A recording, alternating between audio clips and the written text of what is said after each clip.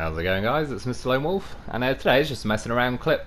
I just wanted to uh, do a more chilled video, do a little lap with my loafs, see how many I can fit on all these trailers and get a bit of a bit of a bakery train going. So uh, first things first, I won't do every loaf, but three loafs on a trailer, two loafs on a dolphin, just add winch, OG loaf and Coca loaf on Mark II dolphin. Fits pretty nicely. That's definitely what she said. Didn't get a roof rack on uh, OG Loaf, but we got plenty of roof racks. Reversing like a pro. Another trailer, another three loafs. Not got a roof rack on that back one either. I mean, behold, we robbed a bakery store. We got ourselves a caterpillar loaf.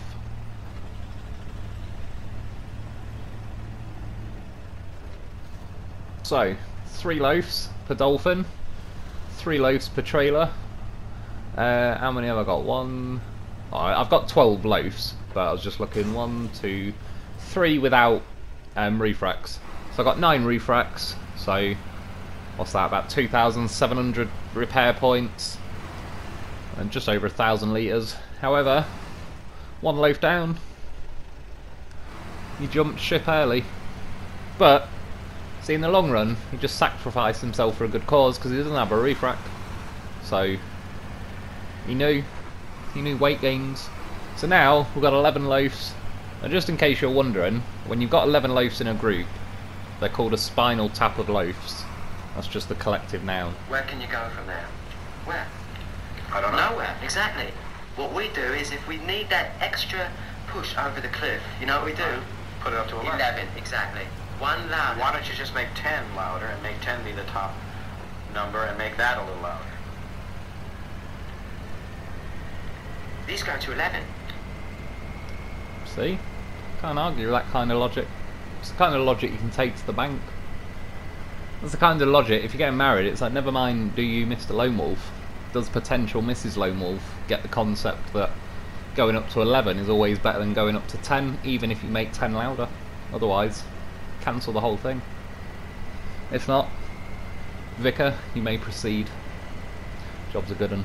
So yeah, got ourselves a spinal tap of loafs with a double dolphin and some trailers. Oh, what could possibly go wrong? I admit, we are a little wider than usual.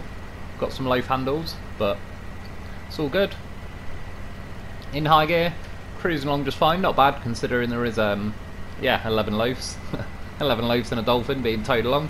So we get to the ice. I wasn't going to go right through the ice, more because uh, they'll probably like just bounce off more than, regardless of getting stuck. It possibly wouldn't get stuck because Mark II Dolphin will be pushing on the trailer.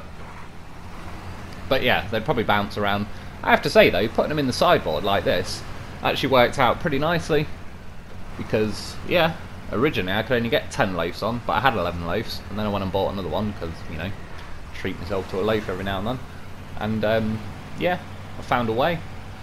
Hanging them out sideways, generally, I didn't try it the opposite way, but I would say putting it in from the front is better. That's definitely what she said. Um, yeah, I reckon because, like, the engine and the weight and whatever, they just sit better nose first into the sideboard. And I mean, well, we'll see. Who's the first loaf to bail? Who's going to jump ship first?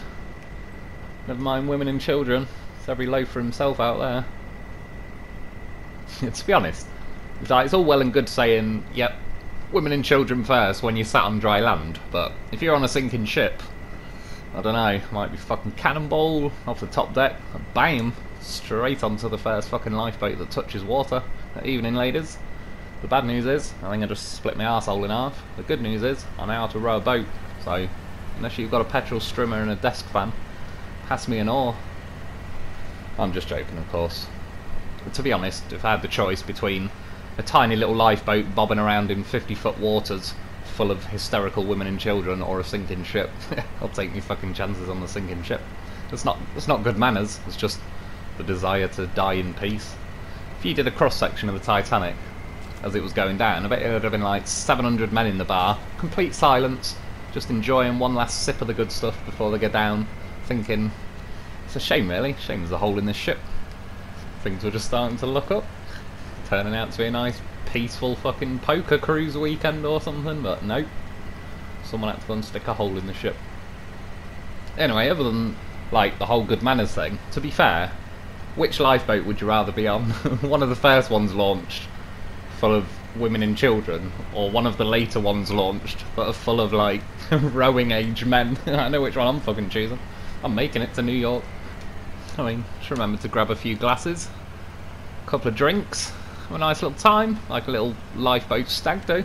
Go rowing around, trying to pick some ladies up. like, oi oi, fancy meeting you uh, here. Do you row here often? Like, oh, hang on. Kids on board like now. Keep rowing, mate. We're fucking babysitting. See us row off into the fog. About a minute later, you just hear, oi oi, fancy meeting you here. Do you row here often? God loves a try, you see.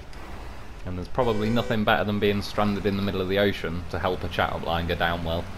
I mean, if you're having, if you're struggling in your marriage, don't renew your vows. Just book a cruise and scuttle the ship. You'll be fucking friends forever by the end of it. This is the shit they don't tell you in school. Fortunately, one of us is prepared to talk about it. Taking one for the team. Anyway, packed all the loaves back on. OG loaf. It fell off, but again, it was another one without a roof rack, so it was kind of not the worst thing. But yeah, anyway, I brought the crane along. I repositioned them all. I started heading towards the cliff. You know, speaking of an actual sunken ship, I was there reading or hearing about this or whatever the other month. There's a ship in England, and it's in like the Thames estuary, and um, basically years ago, because of bad weather, it kind of moored up. But for one reason or another, like miscommunication, it ended up hitting a sandbank, and uh, the thing was full of explosives, and it like the weight of the explosives on the ship coupled with when it got damaged when it hit the sandbank, it split the ship in half and it sank. And I believe I, I, think there was something around 2,000 tons of high explosives on it, but I believe they cleared some up. So I believe there's now 1,400 tons left on this ship that's sat just like off the coast of England, not even off the coast, like you can easily see this ship, you could swim to it from the shore, like it's probably less than half a mile from the shore. Um, and yeah, there's still 1,400 tons of high explosives on it, which, to put that into perspective, I believe the Moab, the American like mother of all bombs, but I think it's called like a massive ordnance airburst. It's like the largest non-nuclear weapon that the US has, which, let's be honest, it's probably pretty massive. They do like their uh, their high explosives. Um, yeah, that's 10 tons, and then the Russians have made a bomb called the father of all bombs. I'm not sure what that stands for. Possibly sometimes some type of ordnance airburst thing. But again, that's about 40 tons or something, or 44 tons. So this ship that's just sat like off the beach of an English seaside town is about 40 or 30 or 40 times the size of a Russian FOAB and about 140 times the size of a um, American Moab. And yeah, they basically, some British experts discussed it and decided like the best thing to do is it probably won't go bang, so just leave it. Like it's not worth not worth the effort. And they might make it go bang while trying to clear it up, but yeah, there's a lot of people that live around there, like the whole town. There's even like a gas storage plant nearby, whichever genius decided to build that, because I'm pretty sure, I don't know how long the ship's been there, but I don't think it's been there two years, I think it's been there like a good decade or possibly more, but yeah, if it goes bang, it'll be one of the largest non-nuclear explosions in history, and it'll wipe out like the local town, just obliterate it. Which is pretty crazy, but yeah, pretty pretty mad that they're just uh, going to leave it. It seems like the safest option. I believe on top of that, though, there's like two and a half thousand cluster bombs that could go through the deck of the ship and land on the explosive cell. So it all sounds pretty, pretty iffy, if you ask me. My advice would be just, I don't know, invite North Korea over. My videos don't make it North Korea, so I can say that. Invite them over, change the maritime maps, let them ram into it, send them the bill. Job's a good one. As you can see though with the loaves, funny enough, this loaf kind of fell off, was hanging on for dear life, did some weird little loops, sat on the back of the trailer, and now it's hanging onto the sideboard. The blue loaf in the background basically did the same thing. We've lost quite a few loaves now, if I'm honest. Going down that track was not good for, not good for them. It'd be nice if there was some kind of like this ramped flatbed, but with sideboards, but it still had a ramp. It'd be uh, pretty cool because then they'd all stay on like easily. I mean, to be fair, they do stay on pretty well, but do you know what I noticed now though, and I, am sort of yeah, just while I've uh, noticed it again. Like as you can see, the Mark II Dolphin is ramming into the trailer to the point where it just tips sideways and tip that uh, loaf off. But basically, that Dolphin is travelling a bit faster than mine at the minute, and I'm obviously driving this one, and that's where I believe it kind of shows where I was saying mechanics that are specifically to like limit trucks. Like I reckon I'm being imposed with some kind of slight restriction, nothing crazy. I'm not like complaining. I'm just sort of saying this is what I noticed. Whereas the Dolphin that is kind of being driven by the computer and doesn't necessarily need you know human well restrictions on a human driven truck. It's just doing it itself. It's like it's got all the power and it's like obviously it ends up going through that mud a bit better than me which was basically what was causing my trailer to like tilt up at a weird angle and I uh, uh obviously one of the loafs fell off. So yeah I just noticed that it was just something I thought I'd uh, mention. To be honest that's why quite a lot of the time it's pretty good to take tandem vehicles. Like when I took um, those two loafs across the Rift map, they were insanely good as a pair because every time the first one slowed down, the second one just had like plenty of power and it was yeah, just like a little little loaf train winched in the middle and uh, like I said, it was like an eight wheeler, eight wheeler loaf. And I went all over the place. I was driving through rivers. I was driving through the big boggy mud bits. I was driving up rocks that were about as tall as the loaf. All sorts of crazy stuff. Once you're uh, doing tandem trucks. Obviously, they don't have to be identical trucks, but I'd say for the sakes of it, it probably helps. Like, obviously, having two of the same, it's uh, whatever you're getting in this one, it seems to be like still a little bit more when the computer's driving the other one.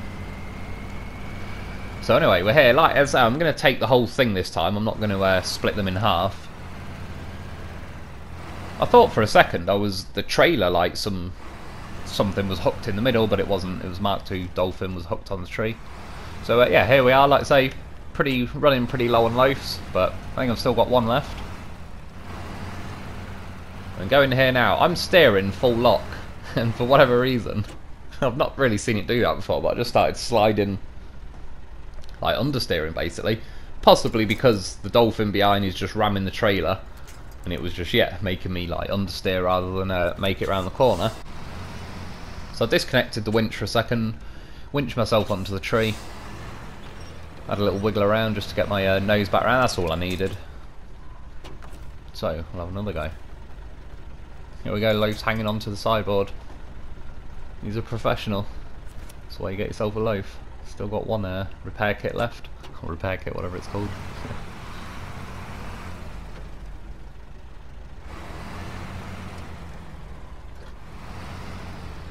At this point, like, oh, I don't know, just sod it. Floor it, fingers crossed, hope for the best. Is it going to make it? I mean, look at the goddamn horse of a vehicle. Doing a Grand National jump off the cliff. It's mocking the cliff, that's what it's doing. I don't know what happened, but it decided it wanted to break free.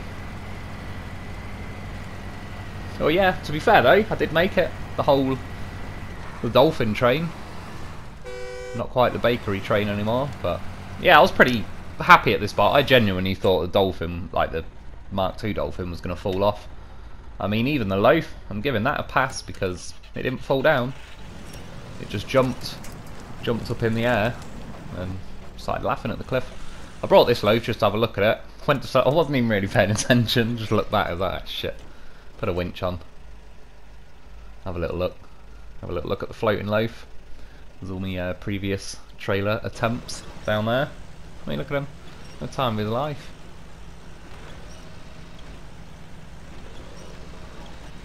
I was trying to do a backflip that every time I held the winch down, it kept lifting me up a bit. So as you can hear, I'm just doing like the winch on and off. I was seeing if I could get enough momentum to try and flip myself up a bit, but it kept stopping about now. So it's good times, good times while it lasted. But yeah, of course, does that mean what do you do? What do we do with a loaf? I believe I recovered the first dolphin and I rolled the second dolphin. Gotta cut her loose. Oh shit. That's way you get yourself a goddamn professional. So the loaf don't let you down. You got shit to do. You got stuff to investigate. Don't have to worry about giant snow hills. Of course, there's loafs. Loafs dotted all along the way, but see? Goddamn horse of a vehicle.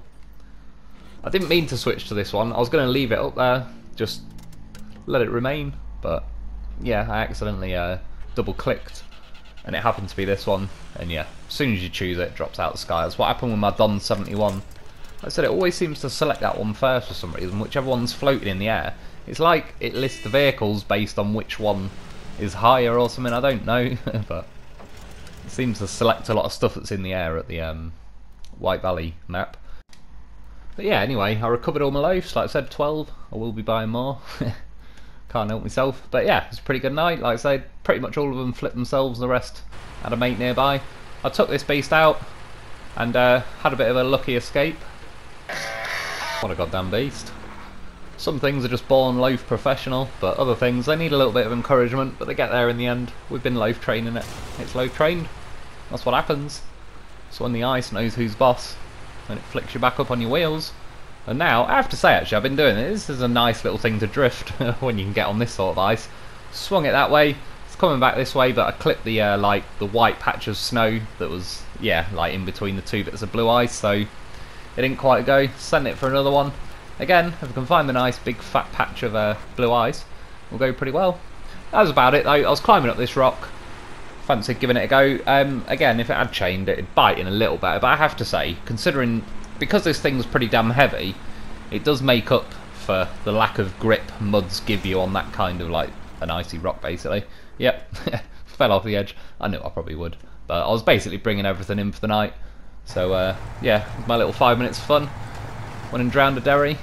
What more could you ask for? So like I say, that's about it for today though. I hope you enjoyed. Thanks for watching. I'll be back soon.